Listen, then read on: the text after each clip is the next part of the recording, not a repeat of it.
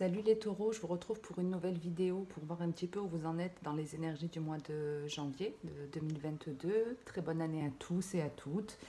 Euh, après une, petite absence d'un peu plus de deux mois, euh, c'est avec beaucoup de plaisir que je vous retrouve. Euh, pour vous la faire courte, j'avais juste besoin de prendre un peu de recul, d'être un peu en introspection, de réfléchir, pardon, à certaines choses. C'était un petit peu lourd en termes énergétiques, donc voilà, j'avais mis un petit peu de côté la chaîne. Et là, euh, pour les, prochaines sessions, je ne vous garantis pas de faire euh, tous les signes tous les mois. Je le ferai un peu au fil de l'eau en fonction de mon ressenti et de mes envies.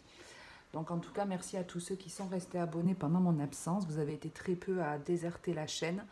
Euh, pour ceux qui l'ont fait, je ne vous en veux pas. N'hésitez pas à revenir si ça vous donne envie. Et puis, bah, si la vidéo vous plaît, que vous découvrez ma chaîne, n'hésitez pas également à vous abonner, à liker ou à commenter cette vidéo. Donc là, on est chez les taureaux. Euh, vous avez avec les portes de... D'ailleurs, vous avez vu que j'ai changé aussi ma façon de faire. Hein, nouvelle année, nouveau départ, nouvelle façon de faire. Besoin, en tout cas pour ma part, il y avait besoin de changement. Ici, euh, avec les portes de l'intuition, vous avez sorti la carte de la non-résistance où on vous dit, en acceptant votre la responsabilité des choses, la solution émerge. Et en dos de deck, on avait la fluidité. Euh, vous avez sorti exactement l'énergie des béliers ici. Vous avez la même carte, ce qui est plutôt intéressant. Donc, N'hésitez pas à aller voir euh, cette vidéo. Hein. N'oubliez pas qu'on a tous dans notre charte euh, natale des 12 signes. Hein. Vous avez une partie verso, une partie bélier, une partie taureau, euh, du gémeaux, etc. Bref, voilà, c'était juste pour, pour faire peut-être un petit lien sur la vidéo bélier parce que oui, je me souviens très bien que cette carte était sortie. Donc ici, euh, en gros, on est en train de vous parler de votre part de responsabilité avec en dos de deck la fluidité. Donc moi, j'ai l'impression que chez vous, il y a un blocage, quelque chose que vous avez du mal à accepter en fait. C'est comme si un petit peu, même avec la carte de, la trahison au démarrage, on est en train de parler d'une situation où on a pu vous blesser, où on a pu vous trahir. Alors ça peut être par rapport à un proche, un enfant un, ami, un collègue de travail, hein, puisqu'on est dans du général. Donc j'essaie de vous faire un, message plutôt large et puis vous, vous l'adaptez dans la situation qui vous parle. Donc ici, comme je vous disais, euh, il y a quelque chose qui vous a blessé et cette trahison que vous avez vécue, qui, ça, vous a vraiment fait mal pour moi parce qu'on me le montre vraiment comme si ça vous avait blessé au plus profond de votre être, comme si ça vous avait euh, euh, vraiment chamboulé, attristé, peiné, comme s'il y avait quelque chose qui vous semblait solide, comme s'il y avait un lien ou un truc solide qui s'était euh, effondré, même si c'est pas la carte de la fatalité, moi j'ai quand même l'impression que c'est un truc qui vous a euh, pas mal affecté. Et on a du mal à s'en remettre ici. Vous voyez, entre la, résistance et la fluidité, on a bien du mal à, retrouver un état d'esprit fluide, des émotions qui circulent bien, enfin des énergies qui circulent bien. Ici, on parle d'un blocage qui est dû à cette trahison. Euh, donc ici, cette blessure, elle peut venir soit du fait que euh, une, personne hein, euh, vous a vraiment fait du mal, soit ça peut être, moi j'ai un petit peu l'impression que pour pas mal d'entre vous, surtout avec ces cartes où on vous demande d'accepter votre part de responsabilité, c'est vous hein, qui vous êtes tout seul trahi. Alors après, je vous explique, si vraiment c'est un ami ou un proche qui vous a dit ou qui a agi d'une certaine façon qui a été pour vous blessante, en gros, si vous, vous étiez conscient ici de, la valeur que vous aviez, si vous vous voyez vraiment euh, dans une réalité, dans une certaine réalité, vous prendrez aussi conscience que vous vous êtes trahi vous-même. Vous vous êtes trahi vous-même, c'est-à-dire que si par exemple euh, votre mère ou euh, une tierce personne vous dit non, tu n'es pas capable d'y arriver, voyez, elle a des paroles blessantes et du coup, vous dites, bon, ben, je ne vais pas me lancer dans ce projet, euh, euh, c'est ma mère, euh, il y a une espèce de, une espèce de sagesse qu'on donne à, nos parents qui n'est pas forcément vraie. Hein, parce que ça reste des êtres humains comme tout le monde, donc ils n'ont pas la science infuse. Mais c'est vrai qu'on a tendance à croire un peu cette espèce de hiérarchie ça fait partie de nos croyances un peu à la naissance. Et si cette personne, par exemple, elle, a eu des propos euh, qui vous ont fait perdre espoir, qui vous ont fait perdre confiance, qui a fait que vous vous êtes dit, bon, ben, finalement, j'avais envie de démarrer ça, je ne le fais pas parce qu'on on m'a dit que, ben, vous pouvez aussi vous en prendre qu'à vous-même parce que cette, personne, elle ne vous a pas soutenu, mais c'est vous qui êtes maître de votre destin. Vous ne devez pas attendre après euh, Pierre-Paul Jacques une certaine valorisation, encouragement ou quoi que ce soit de l'autre c'est par vous-même que vous devez faire les choses. Donc même si cette personne a été euh, négative avec vous, en gros ici, si vous voulez vous sentir bien, c'est à vous de faire les choses qui vous font du bien et pas à vous laisser polluer par des, choses négatives que vous attirez euh, malgré vous. C'est-à-dire que si vous demandez conseil, conseil à cette personne, c'est que quelque part vous considérez que son avis compte et qu'il va avoir un impact sur votre décision. Alors qu'il faut juste s'en servir de conseil, peser ensuite le pour et le contre et, faire ce que vous, ce qui vous donne envie vraiment. Donc, il y a une, forme d'auto-sabotage. Avec en plus communiquer avec la nature ici et tout le monde mérite une récompense et vous avez en dos de deck la carte de la jalousie qui est aussi une triangulaire. On est bien en train de parler d'énergie négative et en gros on vous envoie ce toxique justement pour euh, régler certains comptes. Vous voyez, il y a de, la communication ici qui doit avoir lieu. Euh, on est vraiment avec les mêmes énergies du bélier sur la communication. Il me semble bien qu'on était là-dedans. Mais en gros, ici, euh, on, vous dit de parler avec le cœur. Et vous voyez, ici, on a quelqu'un qui a voulu parler en se disant qu'il méritait quelque chose de bon, mais il n'a pas eu le retour escompté ici. Il n'y a pas eu le retour escompté. Alors, ce qu'il y a de très positif dans votre jeu, il ne démarre pas très bien, hein, pour être honnête, mais il évolue de manière plutôt euh, saine. C'est-à-dire qu'ici, on vous annonce, en tout cas, euh, on va vous apporter de l'aide, quelle que soit cette personne qui vous a blessé ou cette chose que vous n'avez pas réussi à mettre en place, où vous vous êtes un peu auto-saboté. Il y a une prise de conscience ici qui est en train d'arriver. Alors, cette clairvoyance, en plus, vous l'avez au centre du paquet. Donc, il y a vraiment pour moi le ressenti aussi euh, vous, vous, êtes auto-saboté dans une situation. Vous êtes en, partie, en tout cas, responsable de... Euh, ou cet échec ou je ne sais pas. Et à la suite de cette révélation, quand vous allez être euh, frappé par ça quelque part, vous allez vous rendre compte aussi que c'était une espèce de culpabilité qui vous faisait agir ou qui faisait que vous vous montriez plutôt de telle façon. Donc, si on reprend cet exemple de j'ai voulu créer quelque chose, j'en ai parlé à cette personne où je pensais qu'il y aurait un soutien et finalement ça a été blessant, je ne me suis pas lancée, mais je peux aussi m'en vouloir qu'à moi parce que même si elle m'a dit ça, j'aurais pu le faire. Ici, c'est un peu ce qu'on vous dit aussi, tous méritent une récompense, essayez de plaire à tout le monde. Donc pour moi, vous avez agi d'une certaine façon pour ne pas blesser une personne, mais celle que vous avez blessée finalement, c'est vous. Alors je dis celle, mais bien sûr, messieurs, vous adaptez, vous savez que les énergies sont interchangeables. Après, n'oubliez pas que quand je parle d'énergie interchangeable, si ce n'est pas vous qui vous sentez blessé par rapport à une situation, si vous ne sentez pas cette, euh, cette trahison dans votre vie ou cette blessure, c'est peut-être que c'est vous qui, qui, avez eu des propos ou qui avez agi euh, de manière euh, un, peu blessante vis-à-vis d'une personne. Hein, ok, il faut, faut adapter.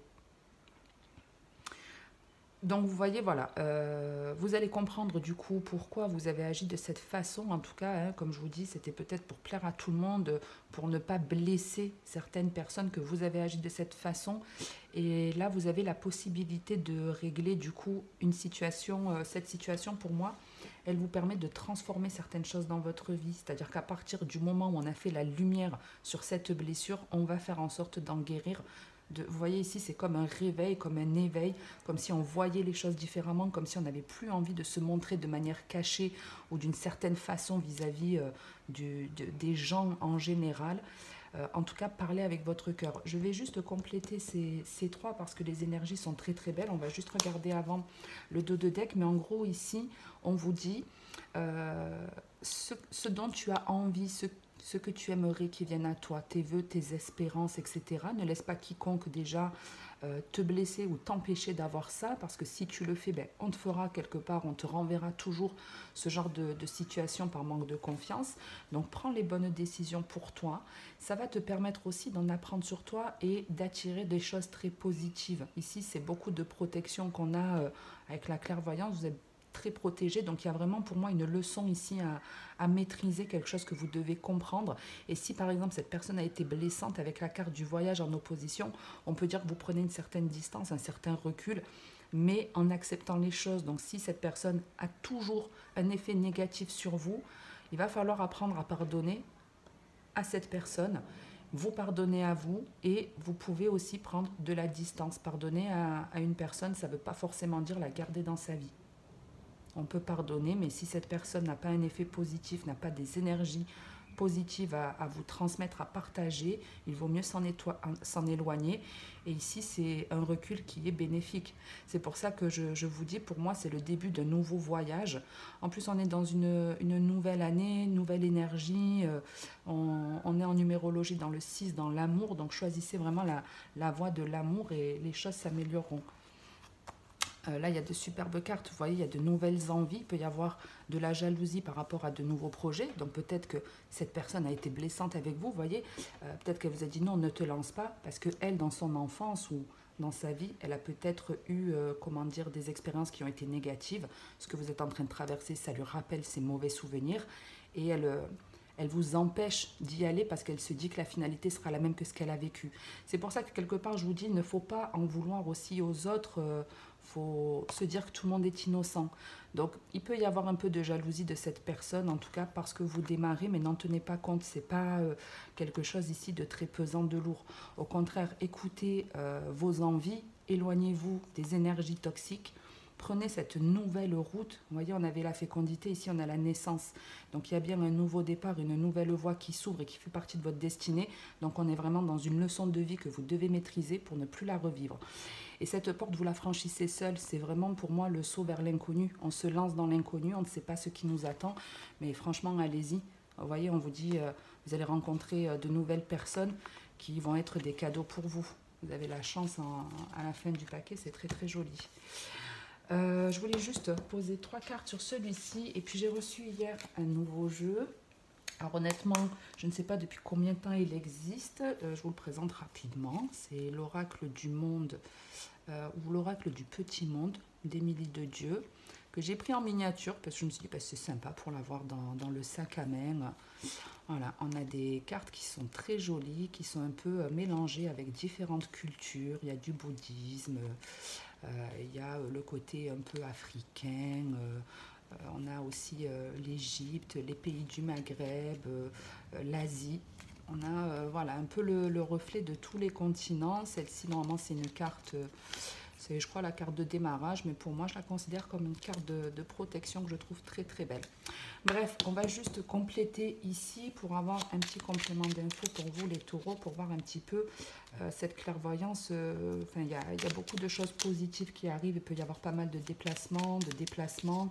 Hein. Peut-être en vous éloignant de certaines personnes, ça vous permet de vous rapprocher d'autres on parle de, pardon et de mensonge. Hein. donc, euh, on a bien des, propos ou quelque chose qui a été dit ou qui a été fait, qui était un mensonge, qui n'était pas une réalité, où on vous demande de pardonner.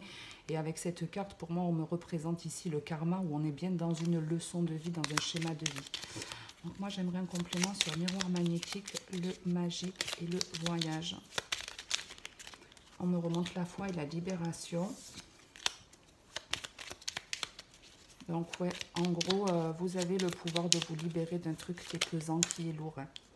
Et c'est vous qui devez décider. On me remonte cette, euh, énergie plutôt jeune. Il me semble qu'on l'avait sur votre dos de deck, cette espèce de renouveau. Hein, c'est vraiment, euh, avec l'enfant et le miroir magnétique, c'est vraiment, vous avez envie de retrouver une certaine énergie.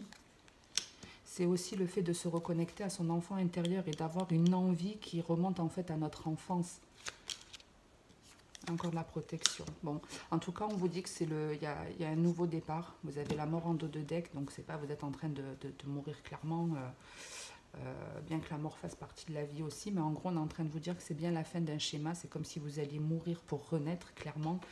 Euh, que c'est le début d'un nouveau chemin, le début de nouvelles choses hyper protégées hein, avec le, le, voyage et puis la protection. Déjà, on avait beaucoup de protection là et ici, c'est pareil. Donc, en tout cas, un nouveau départ qui s'annonce plutôt positif à, condition, comme je vous dis, euh, d'accepter le pardon, d'accepter que l'autre n'a pas agi pour nous faire vraiment du mal.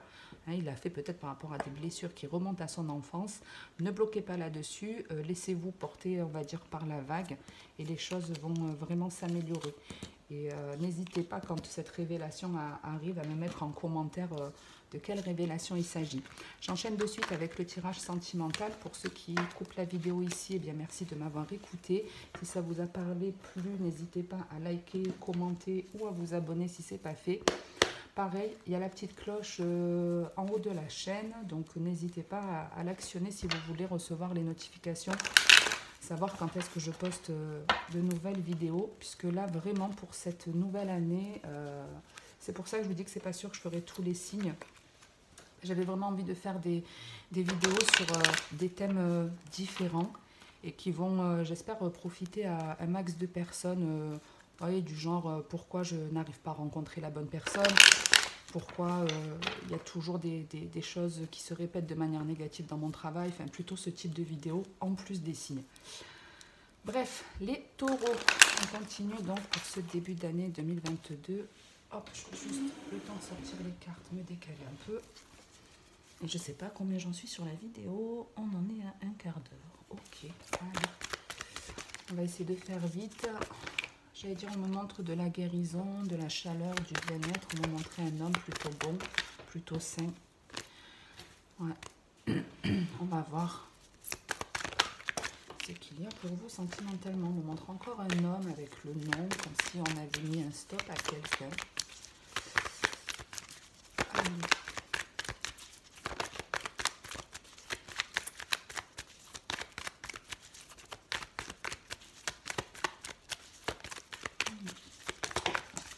elles ont du mal à venir et il y en a trop qui sont sortis, donc je ne les prends pas. J'aime bien quand elles viennent l'une après l'autre. Ici, donc on vous parle d'été, de chaleur, de bienveillance, de communication. Donc ici, on a des discussions qui sont plutôt agréables. Ces discussions peuvent démarrer par exemple cet été, mais vous savez que le temps et les cartes, ça fait deux. Et puis comme en plus on est dans du général, forcément, vous n'allez pas vivre tous la même chose. Hein. Même là, euh, le tirage que je vous fais, euh, c'est pas forcément là pour le mois de janvier même. Allez, si on pouvait sortir un petit peu plus vite, ça m'arrangerait. Vous raconter un peu ma life, je suis en train de préparer la brioche des rois. Elle est en train de finir de faire la, la première levée. J'aimerais bien qu'elle perce pas. Donc si les cartes pouvaient sortir rapidement, ce serait super sympa. Allez, sortez-moi six cartes rapidement. Sinon, je vais devoir stopper la vidéo et la prendre plus tard. Donc, vu le temps que ça prend, vous comprenez pourquoi avant je sortais les cartes en priorité, mais n'hésitez pas à avancer si ça vous gonfle là, on retrouve positif, négatif. Hein, dans le sentimental, les taureaux, c'est un peu en dents de scie. Mais bon, il y a certaines choses qui s'arrêtent pour du mieux. C'est pas négatif totalement. En tout cas, on vous dit hein, que d'ici cet été, euh, vous allez faire euh, la lumière euh, sur une situation qui a été bloquante avec quelqu'un. Ouais, des, discussions qui vont être plutôt sympas, très fluides justement, très chaleureuses, euh, avec euh, une personne, alors c'est soit de vous qui parlez vraiment avec euh, le cœur, l'honnêteté, soit ce sera l'autre. Mais ici, on a de très belles communications, de très jolies, très jolies, de très jolies essences. Tu connais les essences jolies? Ok. Allez, on en reste là et on retrouve cette naissance euh, sur votre dos de deck, ce renouveau, cette nouveauté dans votre vie, ce, besoin de démarrer de nouvelles choses ou de mettre un terme à certaines choses pour pouvoir renaître. Euh, donc, donc, donc, donc. Ici, alors c'est la carte de l'été qui est également celle des, signes de l'été, donc les cancers, lion, vierge. Maintenant, les signes, je vous les donne juste à, titre informatif, c'est pas forcément en, cohésion avec euh, ces signes-là. Quoi qu'il en soit, euh, moi j'ai envie de vous dire que d'ici cet été, ou même si ça démarre là, ici il y a des échanges qui sont plutôt sympas où euh, moi j'ai l'impression qu'on essaie un petit peu de euh, savoir euh, l'état d'esprit de l'autre. Ici, il y a un peu le truc de c'est trop beau pour être vrai. Est-ce qu'il n'y a pas quelque chose de caché derrière? Et c'est peut-être pour ça, oups, qu'il y a une forme de, résistance euh, de votre côté. Hein, avec en plus la carte ici de, la tromperie, qui est d'ailleurs un peu la même carte que l'adultère qu'on a vu tout à l'heure. Donc ici, on se demande si on n'est pas en train de se moquer de nous, dans le sens où est-ce que cette personne, elle n'est pas en train de me montrer que des belles choses. Vous voyez que euh, je suis quelqu'un de bien, euh, je te dis que tout est possible avec, ensemble. Vous voyez ici, on a un état d'esprit qui est très très positif, mais peut-être trop enjoué. Et du coup, il y a une espèce de méfiance. On, se dit, ouais, vous voyez, avec la, chance et la tromperie et l'été, la, la, tromperie, elle est bien entourée. Bon, mis à part là où il y a une séparation, mais elle est plutôt bien entourée, cette, cette relation. Mais voilà, c'est est-ce que ça ne cache pas quelque chose? Parce que ça me semble trop beau pour être vrai. Voilà. Dans, les échanges que vous avez, il y a un petit truc euh, qui vous fait dire les paroles ici ne semblent pas tout à fait honnêtes, on s'en méfie. On s'en méfie. Alors qu'après, euh, dans la généralité, moi, j'ai pas l'impression que ce soit quelqu'un qui, qui soit vraiment malhonnête soit vraiment malhonnête. Moi, j'ai plutôt l'impression euh, que cette personne, elle a peur parce qu'elle a déjà vécu des choses dans le passé qui n'ont pas forcément été très sympas. Parce que je la, je la vois pas, je la sens pas négative vraiment. Il peut y avoir aussi le côté d'ici cet été, euh, on fait la fête, on s'éclate, on s'amuse. Parce que les énergies sont plutôt chaudes. Hein. On, vous pouvez être aussi euh, euh, une personne ayant un tempérament de feu, par exemple. Mais euh, ouais, ici, alors le fait qu'on on ait aussi ce message, cette enveloppe, ça peut sous-entendre que vous êtes en, relation avec une personne qui sera à distance, où il y aura beaucoup de messages, justement. Beaucoup de messages. Donc voilà, de, la méfiance en tout cas pour démarrer ce tirage sentimental, on se méfie en se disant est-ce que c'est pas trop beau pour être vrai? En deuxième plan, ici, on nous parle de tromperie, de séparation et de transformation. Ici, il y a clairement quelqu'un qui a compris, euh, qui a découvert en tout cas euh, quelque chose. Hein. On, est venu lui ouvrir les yeux, on est venu euh, lui faire toc-toc dans sa tête, regarde ce qui se passe. On est vraiment ici venu vous apporter un éclairage vis-à-vis d'une personne qui effectivement pouvait là clairement vous tromper, puisque avec la tromperie la séparation et la personne qui s'envole, vous voyez, c'est comme si un petit peu euh, j'ouvre les yeux. Il y a, euh, avec la chance, vous voyez, ça peut être mon partenaire m'a trompé et je l'ai découvert ben, par pur hasard. J'avais rendez-vous à tel endroit et puis je l'ai croisé alors qu'il ne devait pas être là. Vous voyez, c'est un petit peu par hasard que vous découvrez, mais le hasard, sachez-le, n'existe pas. Hein, la, chance et le hasard n'existent pas. Si on nous envoie des expériences à un moment très précis, positives ou négatives, là en l'occurrence c'est négatif parce que ça entraîne une fin de relation ici, mais c'est positif parce que le fait de quitter cette situation, de prendre conscience que vous êtes avec une personne qui vous trompe, euh, ça va vous permettre de vous diriger vers autre chose. Vous voyez, c'est comme si on venait ici vous, vous libérer d'une dépendance que vous aviez avec, euh, avec cette personne. Donc, je ne dis pas que tous les couples vont se séparer, mais pour ceux qui tombent par hasard sur un indice, un quelque chose qui leur fait comprendre que leur partenaire les trompe, il y a ici une séparation qui va vous permettre de... Euh, bah, c'est la fin d'un chapitre, mais il y en a un nouveau qui, démarre, à condition que vous le, souhaitiez. Vous pouvez rester ici dans le mal, parce que cette séparation, elle est au centre de votre, de votre jeu. Donc on a bien en tout cas des coupures, comme je le disais dans le général, où il y a une espèce de distance qui se, qui se fait. Ici, c'est vrai qu'avec la séparation et l'envol, bah, c'est un peu pareil, on coupe et on prend de la distance. Donc, prenez-le comme euh, une bonne chose. Hein. De toute façon, on vous dit que même c'est une chance pour vous, de toute façon, cette tromperie, c'est pas le hasard. On vous le fait parce qu'il y a mieux après. Donc, soit vous restez dans un état d'esprit où vous refusez cette transformation, vous refusez de vous envoler, et malheureusement, le, schéma peut se répéter. Soit vous décidez de vous dire, bon, c'est la fin de ce chapitre, mais c'est la possibilité d'en démarrer un nouveau d'une autre façon, en me libérant de certaines addictions, hein, en, changeant euh, le comportement que j'ai pu avoir ou la façon que j'ai pu, euh, euh, la, façon dont j'ai vécu cette relation. Peut-être j'ai trop donné, peut-être je n'ai pas assez donné, peut-être j'avais senti qu'il y avait des choses louches, mais j'ai pas voulu m'écouter. Changer cette phase-là. Et pour moi, cette, transition, elle se fait bien là, en tout cas euh, sur cette année, puisqu'on vous dit ici que justement, euh, on, vous parle ici d'une occasion qui se présente à vous de manière assez inattendue. Hein. Vous ne voyez pas que la chance va vous sourire. Il y a pour moi un coup du destin qui est hyper positif. Alors on me parle pour une femme et ça peut être un homme, mais parce que cette personne en tout cas a mis un terme avec euh, on est dans la communication, mais soit elle a réglé des conflits, elle a discuté avec des personnes précises pour dire stop, pour y mettre un terme, euh, soit vraiment c'est parce qu'elle se sépare d'une personne qui n'était pas bonne pour elle.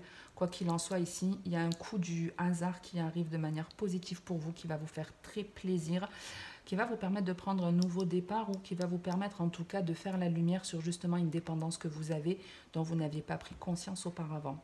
Peut-être vous aviez un côté trop superficiel, je te montre, vous voyez, avec... Oui, et, oui, ça aussi, euh, essayer de plaire à tout le monde, c'est un peu ce que je vois ici. Vous voyez le côté un peu, euh, pas bling-bling, où on est apprêté, où on est tout le temps pomponné, mais où on fait tout notre possible pour plaire à l'autre. Vous voyez, il y a quelque chose qui sonne faux là-dedans il y a un truc qui sonne faux. Tout est une question d'équilibre. On ne peut pas être pompé up tous les jours. Vous voyez, moi, pendant deux mois, j'ai arrêté la chaîne. J'étais pas en dépression, mais j'avais plus envie de certaines choses. Voilà, j'avais besoin de, recul, de repos. Euh, j'avais besoin de dire stop à, certaines personnes ou à certaines situations dans ma vie. Et c'est bénéfique. C'est bénéfique parce que certes, il y a des départs, mais la vie est faite de, de, de, de, départ de certaines personnes et de départ dans votre nouvelle vie. Donc ici, grâce à cette séparation, à cette euh, coupure de, communication, il y a le, le fait d'ouvrir les yeux sur une dépendance. Donc ça, c'est bien parce que ça vous permet d'en guérir aussi. Donc je vous dis toujours, hein, on a le choix, le libre arbitre, mais les cartes sont plutôt positives ici. Hein, on, peut parler ici d'une hésitation par rapport à quelque chose de nouveau, d'hésiter à se lancer, mais en gros, lancez-vous, allez-y, envoyez de l'énergie, lancez-vous là-dedans. Euh, ça peut être un projet euh, lié au, spirituel, hein, avec un, double set collé. On peut être euh, avec quelque chose qui est en lien avec la spiritualité, d'autant plus la carte de la sagesse.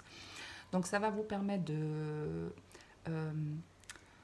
comment dire c'est pas que de prendre confiance en vous, ce sera un nouveau départ en tout cas où euh, les énergies sont beaucoup plus apaisantes, beaucoup plus justes. Hein. si c'est d'une relation qu'on parle, il peut y avoir le début d'une relation où ici il y a un côté euh, je prends soin de moi. Vous voyez, c'est pas pour moi, euh, il y a encore cette communication qui prend fin, hein, mais c'est pas le côté superficiel ici pour moi avec le, la, sagesse ou alors c'est plus Mettez un terme aux personnes superficielles. Ne parlez plus aux personnes superficielles qui n'ont pas les mêmes valeurs. Prenez soin de vous. Faites-vous beau, faites-vous belle intérieurement. C'est plus comme ça, moi, que je le vois. Faites-vous beau ou belle intérieurement en générant des énergies positives pour vous et en sortant de votre vie les énergies négatives. Euh, et pour euh, finir, on peut avoir ici des signes qui vous sont envoyés, un peu de mal à, les voir. Mais voilà, si vous trouvez ben, des plumes, hein, à des endroits bien sûr où... Euh, on ne devrait pas en trouver. Hein. ne me dites pas, bah oui, j'ai trouvé une plume, euh, j'élève, euh, je sais pas, je fais un élevage d'autruche, j'ai trouvé une plume, euh, c'est un peu normal, mais voilà, des plumes, des coccinelles, faire un cheval, trèfle à quatre feuilles ou autre. Croyez en tout cas en, votre chance pardon, ce début d'année. moi, j'en reste là pour aujourd'hui. Je ne sais pas quand est-ce que je vous retrouverai. N'hésitez pas en attendant, en tout cas, à, à regarder votre signe lunaire ou votre ascendant pour un complément d'infos. Passez une très bonne journée, une très bonne soirée. N'hésitez pas à liker, à commenter. C'est toujours un plaisir de vous lire et c'est un gage de soutien aussi pour moi. Euh, je le disais en 2021 et je le redirai sûrement euh, jusqu'à ce que euh, cette chaîne se termine. Le plus important dans la vie, c'est de prendre soin de soi en priorité sans négliger l'autre. Et c'est vraiment ça le plus important. Donc faites-le les taureaux, prenez soin de vous et je vous retrouve très bientôt.